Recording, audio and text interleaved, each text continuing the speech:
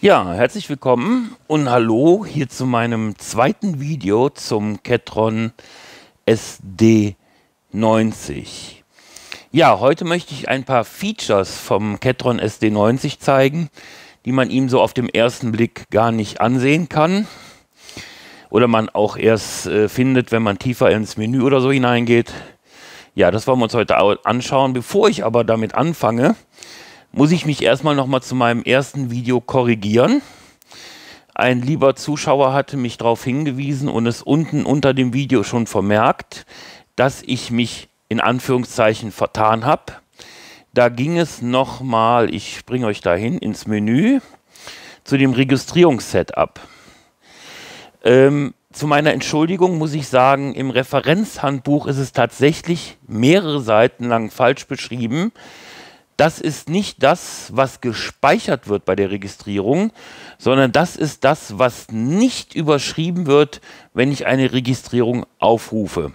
Alles, was gelb markiert ist, wird also beibehalten. Und alles, was nicht gelb markiert ist, wird überschrieben. So eine Art Filter beim Aufruf der Registrierung. Entschuldigung dafür, aber es steht tatsächlich in der Bedienungsanleitung nur kurz, aber richtig beschrieben. Im Referenzhandbuch vom Ketron zum SD90 leider auch falsch beschrieben. Ja, ich musste es dann auch lernen.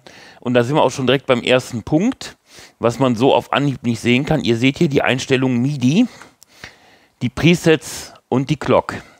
Ja, das ist genial, denn hier beim Ketron werden die, in den Registrierungen auch eure MIDI-Einstellungen gespeichert. Das heißt, ihr könnt mit einer anderen Registrierung auch ein ganz anderes MIDI-Setup aufrufen. Ihr könnt also wirklich sagen, das eine greift noch auf ein anderes Gerät zu, die nächste Registrierung greift nur intern auf den Ketron zu, der nächste wird wieder von der Clock äh, synchronisiert. Also das ist hier ganz toll gelöst. Da haben wir bei manch anderen Herstellern schon Ewigkeiten darauf gewartet, dass das endlich möglich ist.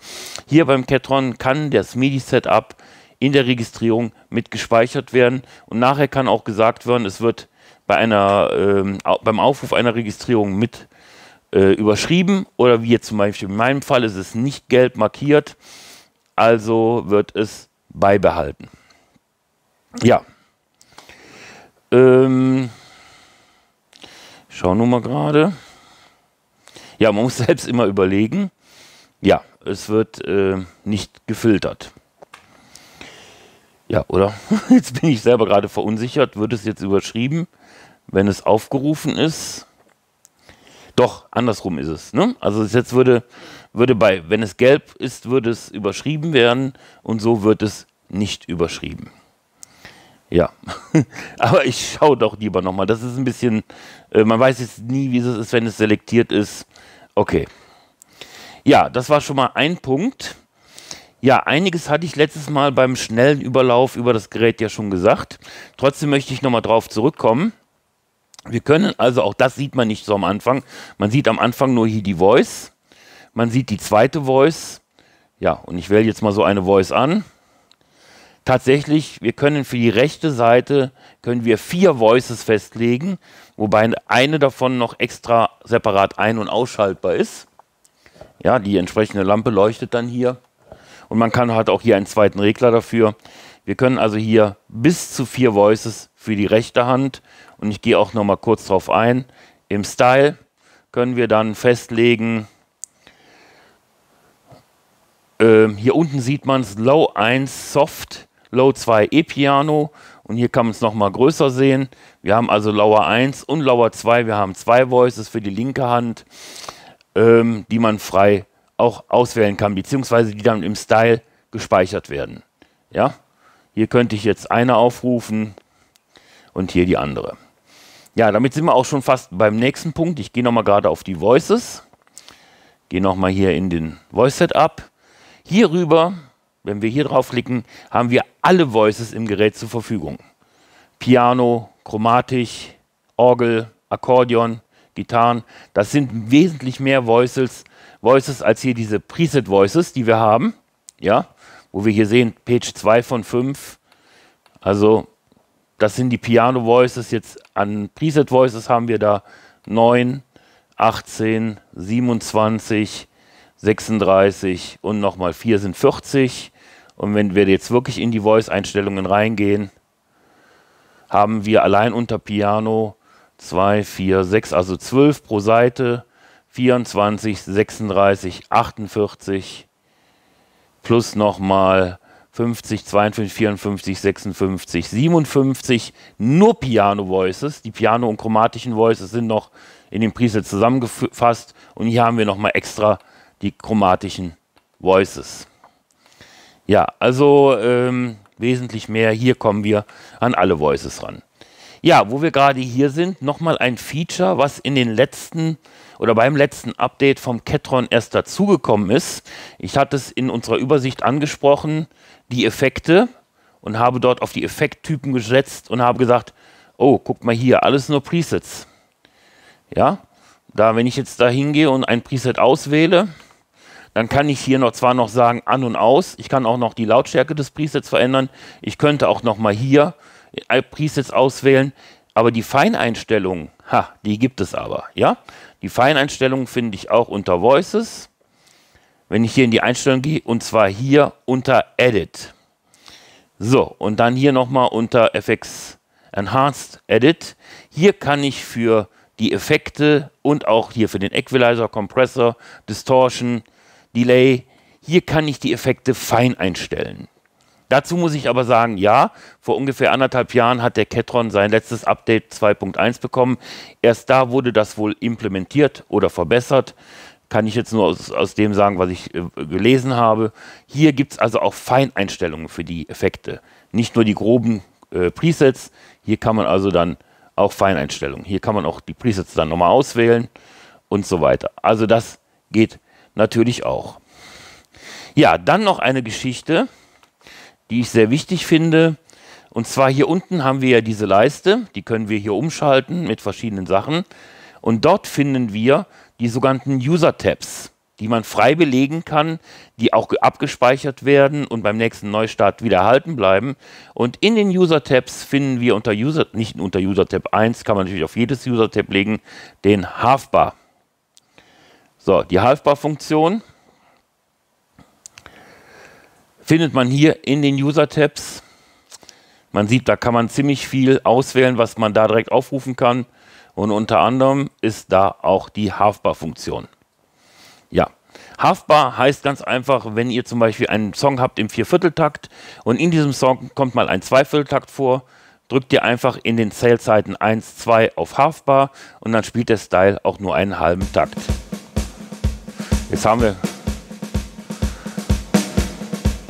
Ihr seht hier oben läuft der Style. Und dann macht er auch nur den Halfbar. Nochmal. Dann hört er bei 2 auf und fängt wieder an. Oder ich hatte es sogar schon jetzt gestartet, dann macht er natürlich den ersten Takt direkt mit Halfbar. Also Halfbar-Funktion auch beim Ketron SD90 kein Problem und erhalten. Ja, dann kommen wir zu dem nächsten schönen Feature, was man so am Anfang nicht sieht. Thema Tempo. Und wenn ich beide Ta Tempotasten auf einmal drücke, kommt hier dieses Bild, was aber gleich wieder weggeht. Ich drücke mal gerade Lock. Lock heißt, das Tempo, hier in diesem Fall 125, wird gehalten, hat dann ein kleines Sternchen hinter der Tempoanzeige. Das bedeutet nicht, dass ich das Tempo jetzt nicht schneller oder langsamer machen kann. Ja, aber wenn ich jetzt den Style wechsle, bleiben die 125 erhalten. Ebenso, wenn ich extern, aber das ist schon etwas für Fortgeschrittene, wenn ich extern den Ketron synchronisiere, per MIDI-Clock, auch die MIDI-Clock zählt. Also es ist nicht so, dass der Stuhl jetzt bei 125 bleibt. Kriegt er von außen ein Clock-Signal, dann wird auch das Tempo entsprechend angepasst. Auch schön gemacht, da muss man sich nicht drum kümmern. Man, man kann hier nur festlegen, ob die festgehalten werden für den Stylewechsel. Ja, und da sind wir auch schon direkt danach, man sieht es kurz, es wird immer kurz eingeblendet, hier haben wir die Accelerando und Ritterando Funktion. Auch ganz toll gemacht. Wenn ich zum Beispiel im Style schneller werden möchte, dann drücke ich drauf, drücke kurz die Accelerando Funktion. Ihr seht, der Style, der wird immer ein bisschen schneller, immer in Fünfer Schritten. Wenn ich sage, ist schnell genug, drücke ich einfach nochmal drauf. So, jetzt machen wir das Ganze mit Verlangsamen, mit der Ritardando-Funktion. Der Style wird langsamer. Ich denke, solange der Ritterando läuft, oder das Ritterando genau, geht dieser Bildschirm auch nicht weg. Bis ich dann nochmal kurz antippe und ich kann wieder in, dem Tempo spielen. Dann geht auch der Bildschirm weg. Ich mache es nochmal. Steigert sich wieder. Der Bildschirm bleibt erhalten. Bis ich sage, okay, genug beschleunigt. Und wir sind im Tempo. Eine tolle Funktion, wie ich finde. Und dann geht der Bildschirm auch wieder in seinen Ursprungszustand zurück. Ja, ich habe mir ein paar Notizen gemacht, deswegen muss ich ab und zu mal gucken, dass ich auch nichts vergesse. Ja, äh, MyList, ganz genau. Ja, sind wir auch dabei. Ich hatte es, glaube ich, kurz angesprochen bei der Übersicht, aber möchte nochmal drauf eingehen. MyList ist eine Funktion, um aus den ganzen Styles, die wir haben, und nicht nur aus den Preset-Styles, das können auch User-Styles sein. User-Styles sind eigene Styles oder ich gucke mal, ob ich hier einen habe. Da habe ich einen User-Styles. Daraus kann ich in meiner Liste, ich gehe nochmal drauf, ja, das ist jetzt MyList. Hier oben steht MyList. Na, jetzt habe ich Bildschirm aus Versehen berührt. So, und habe dann hier mehrere Seiten mit meiner eigenen Stylist. Ja, ich gehe nochmal drauf. So. Jetzt habe ich sie. Ähm, ich habe es jetzt nicht im Kopf. Ich glaube, es sind zehn Seiten. Legt mich jetzt nicht fest. Wo ich meine eigenen Styles mal eben abspeichern kann. User-Styles abspeichern kann, um dann schneller zugreifen zu können. Das ist MyList, so eine Art Favoritenliste, in diesem Fall für Styles. Ja, kurz hatte ich schon erklärt, unter User finde ich meine eigenen Styles, die ich irgendwie hinzugefügt habe oder aus dem Style, äh, aus einem Preset-Style erstellt habe. Und da komme ich dann direkt auch zur Voice-List. Das ist dasselbe für Voices, wie aber auch für User-Voices. Also hier in der Voice-List habe ich auch wieder einige Seiten mit eigenen Voices aus diesen Preset-Styles. Ach, hier sieht man es oben. Hier sind es zehn Seiten. Ich glaube, ich lege mich nicht fest. Bei Styles kann ich jetzt nicht auswendig sagen, wie viele Seiten es sind, aber es sind einige. Hier habe ich zehn Seiten. Page, da oben steht Page 1 bis Page 10. Ich kann auch in beide Richtungen hier hin und her springen. Page 1 mit eigenen Voices, beziehungsweise Voices aus den User Voices und so weiter. Ja, dann möchte ich noch auf eine andere Geschichte kurz eingehen. Ich gehe wieder in meine Styles rein und wähle mal hier wieder Voice und Vari. Das sind im Grunde sogenannte, oder so, so werden sie auch bei Catron genannt, OTS und OTS-Einstellungen.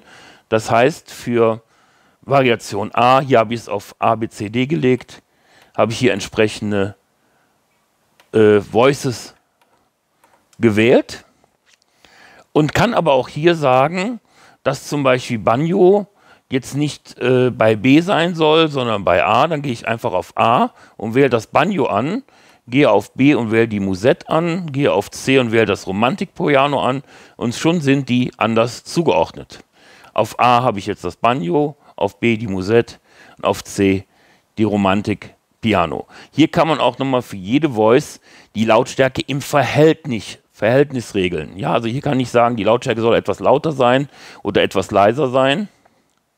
Hier seht ihr, das geht bis 20, ja, also hier geht es bis 30 oder dann minus 30 im Verhältnis. Das heißt, nicht einfach wird die hochgesetzt, sondern ist sie auf, sage ich mal, 70 eingestellt, kann sie bis 100 erhöht werden oder bis 40 erniedrigt werden, ist sie auf 80 eingestellt, entsprechend im Verhältnis. Ja, und da wollte ich auch eingehen auf die Geschichte Variation. Wofür ist das? Das sind einfach vier ausgewählte Spuren aus dem Style, die ich, ein, die ich ein- und ausschalten kann. Live, mitten im Spiel, mitten in dem, in der, ähm, ja, mitten im Style-Spiel. Das kann ein Effekt sein, das kann aber auch ein Rhythmus sein. Auch da kann sich alles hinter verbergen. Das sind einfach vier Spuren, die man entsprechend äh, im Style ein- und ausschalten kann. Auch das so eine Geschichte, die man vielleicht auf Anhieb gar nicht sieht. Damit kann man den Style ausdünnen oder man kann ihn äh, lassen, wie er ist. Auch äh, schön, ein schönes Feature für das Live-Spiel. Ja, ja, dann äh, weiß ich nicht, auch das denke ich mal sollte nochmal erwähnt werden.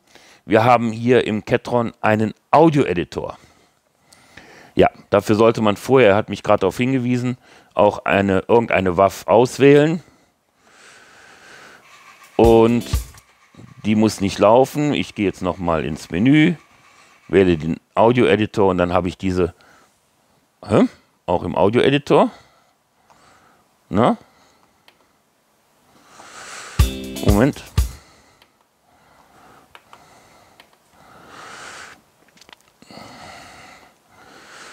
Sekunde warten.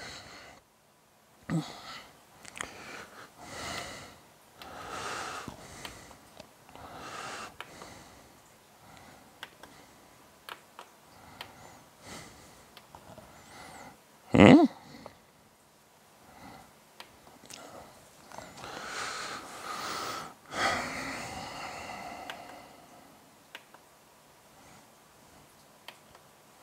So, jetzt aber. Also, nochmal Audio Edit.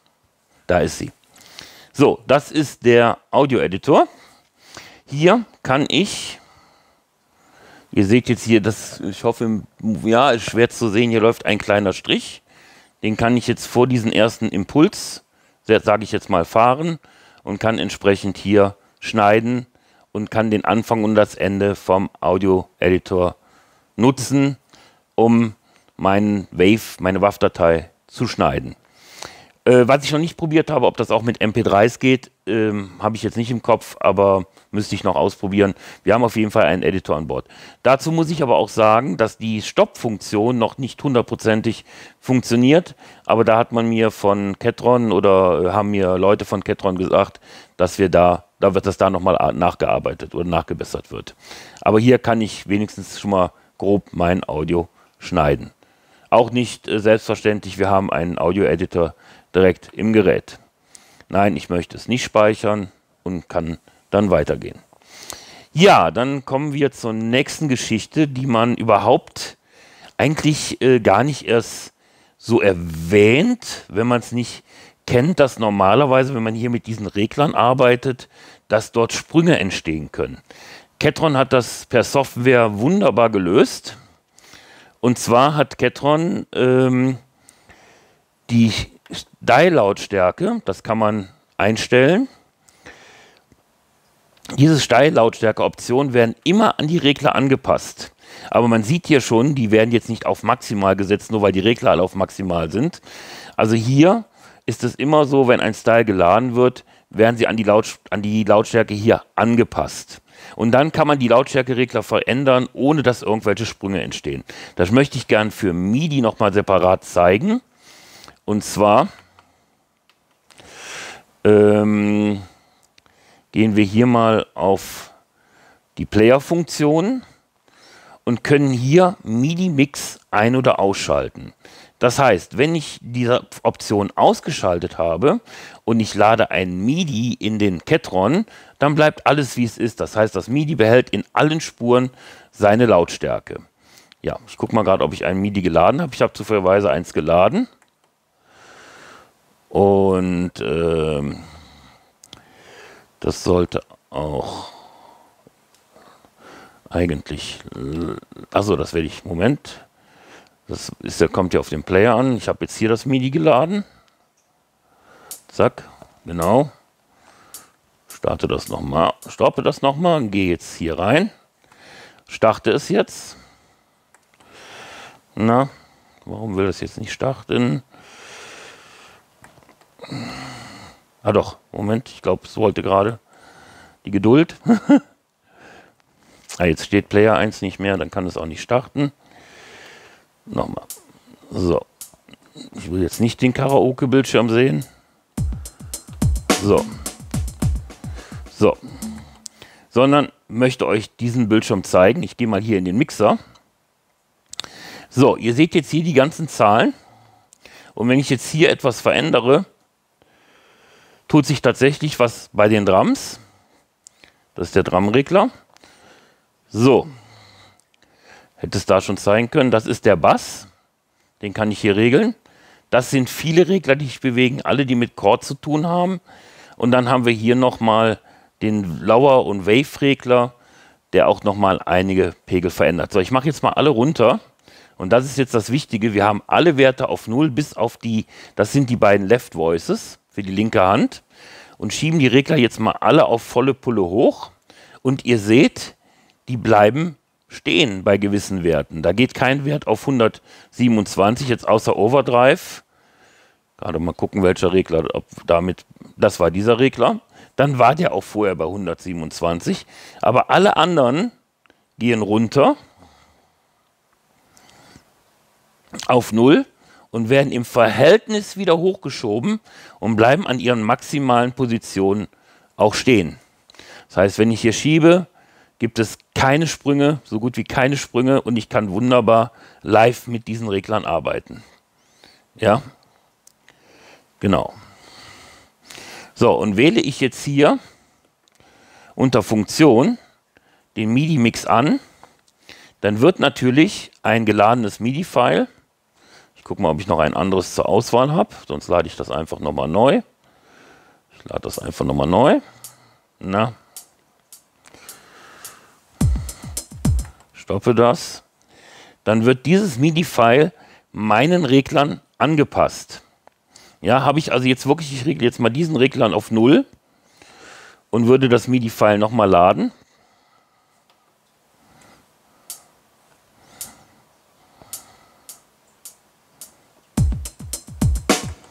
So, gehe auf den GM-Mixer, dann sind tatsächlich diese Werte auf 0 ja, wird diesem Regler angepasst. Die würden mir jetzt fehlen beim Abspielen. Dafür kann man diese Funktion ja ein- und ausschalten, ob man sie haben möchte oder nicht. Macht man MIDI-Mix aus, werden sie nicht an die Regler angepasst, werden, sind aber im Verhältnis regelbar auf jeden Fall.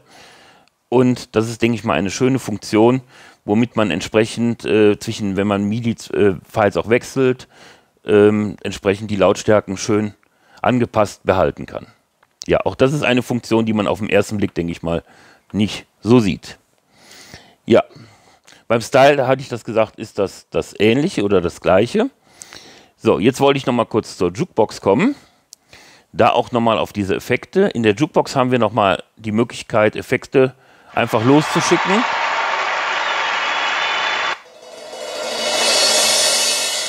Das hatte ich, glaube ich, aber auch im Übersichts... Äh, Modus oder im ersten Video einfach mal erklärt. Also hier habe ich verschiedene Effekte, wo ich natürlich auch äh, über die Playlist-Funktion noch meine eigenen Effekte hinzufügen kann. Da oben sieht man Playlist 1, die ich dann auch nutzen kann. Also hier hat man noch mal eine Möglichkeit, so eine Art Multipad oder wenigstens One-Shot-Multipad abzuschießen.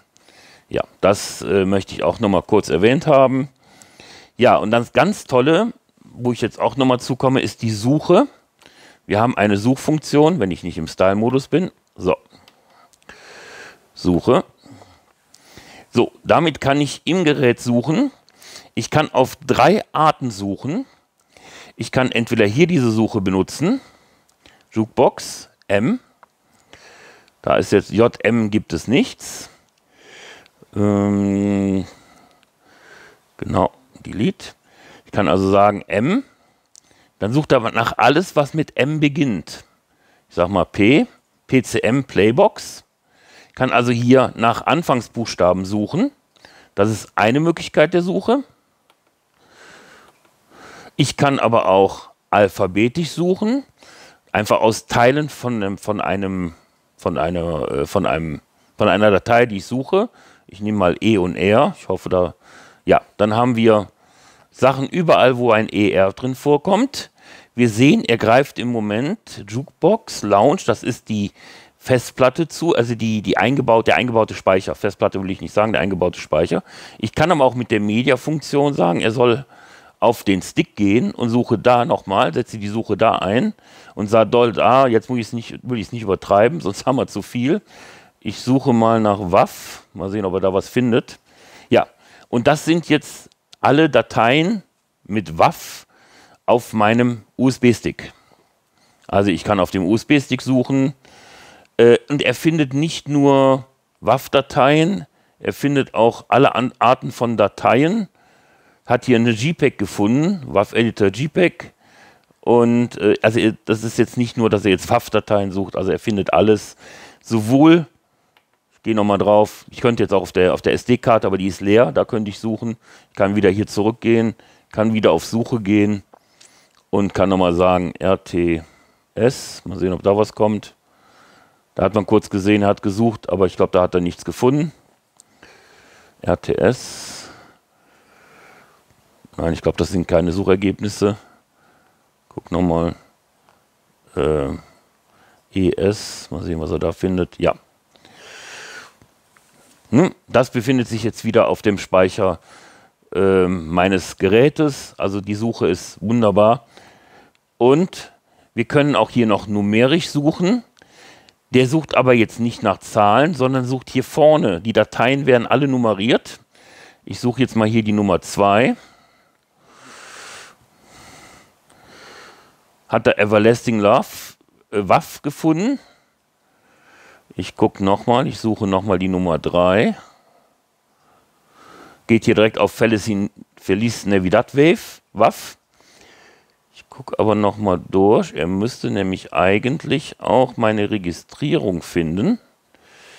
Aber es kann sein, dass ich da vorher in Rex reingehen muss. Und ja, da habe ich dann hier die Nummer, Numpad-Funktion, genau, sage hier die 2, dann findet der entsprechend die Registrierung Nummer 2. Ja. Also das, wie gesagt, zu der Suche. Versuche nochmal auf Player 1 zu gehen. Gehe nochmal hier auf Suche und suche mal gerade nach Ever. Ja, da findet er auch meine Rec. Everything I Do, every, every, Everlasting Love. Hier sieht, sieht er auch, er sucht meine, Finn hat auch meine Rec gefunden, meine Registrierung, die ich am Catron erstellt habe. Ja, also super, super Suchmöglichkeit, nicht nur äh, für Registrierung, sondern für alles im Gerät und auch auf sämtlichen angeschlossenen, ähm, ja, äh, angeschlossenen USB-Sticks oder auch auf der SD-Karte. Ja, ja, dann möchte ich auch nochmal erwähnen, wenn ich das im ersten Video noch nicht gesagt habe, bei den Styles. Diese Styles, die können in jedem der Parts ein anderes Tempo haben und eine andere Taktart haben. Also für jeden, ich gucke mal gerade, ob man es hier sehen kann. Rekord wollte ich jetzt nicht einschalten. Arranger A. Schauen wir gerade, ob wir hier die Parameter. Ja, wir haben hier Time-Signatur von vier Vierteln. Das kann in jedem, äh, in, in jedem Part anders sein. Und auch das Tempo 75 kann in jedem Part für sich eingestellt werden. Das wollte ich nochmal erwähnen. Ja, dann äh, auch noch kurz nochmal zurück zum Player oder zu den Playern. Exit. Wir haben zwei Player zur Verfügung. Ja. In jedem Player, also hier kann eine WAF-Datei geladen werden. Und in dem anderen Player kann ich ebenso eine WAF-Datei laden.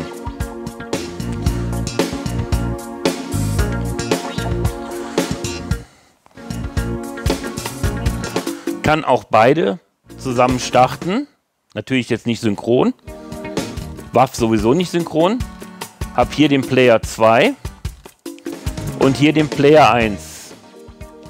Und jetzt muss ich ja wissen, wenn ich jetzt hier den Stopp-Knopf drücke, welcher Player wird gestoppt? Der, der blinkt, wird nicht gestoppt. Also immer der, der konstant leuchtet. In dem Fall Player 2 wird gestoppt, wenn ich nun die Stopp-Taste drücke oder wenn ich hier die Funktionstasten nutze.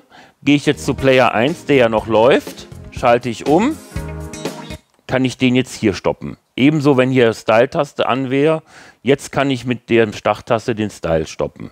Nur mal so zu der äh, Orientierung, was denn jetzt gestartet wird mit diesen Tasten hier. Also beide Player sind unabhängig, da können, in beide können MP3, in beide können WAV, da gibt es keinerlei Begrenzung. Ebenso, ähm, der eine oder andere wird es wissen, der Ketron basiert auf Linux. Das Betriebssystem vom Ketron ist Linux. Das heißt, hier gibt es auch keine festen Werte, wie viele Ordner dürfen, äh, wie viele Dateien dürfen in die Ordner rein. Alle Ordner, außer jetzt spezielle Ordner von Ketron, die limitiert sind aus äh, Systemgründen können, können frei mit Dateien belegt werden. Also ich habe jetzt einen Ordner mit äh, 2000 Styles zum Beispiel. Das ist gar kein Problem. Äh, die Grenze ist, äh, liegt irgendwo bei 32.000 Dateien, äh, die ihr hoffentlich nicht in einem Ordner habt, äh, was entsprechend dann auch für Verzögerungen so, sorgen würde. Also ähm, da bitte äh, gibt es keinerlei Begrenzung, wie viele Dateien ihr in einem Ordner haben dürft. Ja, dann komme ich noch zum letzten Thema, was ich dann auch äh, irgendwann jetzt in einem äh, Video nochmal genau besprechen werde. Wir werden dann sowieso, die nächsten Videos werden dann immer speziell für äh, eine gewisse Sache sein. Das ist nochmal das Launchpad oder die Launchpads. Da möchte ich nochmal zu sagen, es ist im Grunde, ja, ich sag mal, eine kleine DAW direkt eingebaut hier im Catron. Das ist im Grunde nichts. Ich darf jetzt will jetzt keinen Namen nennen, wie eine andere, äh, eine andere Sequencer-Software, die basiert ist auf diesen Pads hier, die ich frei belegen kann, in die ich WAF einsetzen kann. Okay, limitiert auf drei WAF pro äh, Szene. Dann ist Schluss, also an WAF-Dateien. Andere Dateien dürfen natürlich da rein, MIDI-Dateien, MIDI-Files, Style-Dateien. Hier kann ich auch einen Style importieren, das ist gar kein Problem. Ähm, das nochmal kurz gesagt, Launchpad separat ist im Grunde eine kleine DAW, komplett hier eingebaut, mit Time-Signatur, wie ihr seht, mit einem Song-Modus, in dem ich den Ablauf bestimmen kann, was hier abgespielt werden soll. Szene 2 einmal, ähm, Szene 3 zweimal. Okay. Songmodus an. Mal sehen, gerade mal auf.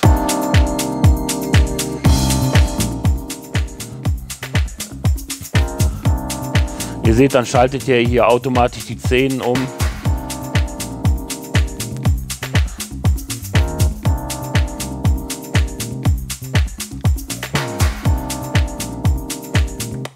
Gerade gucken.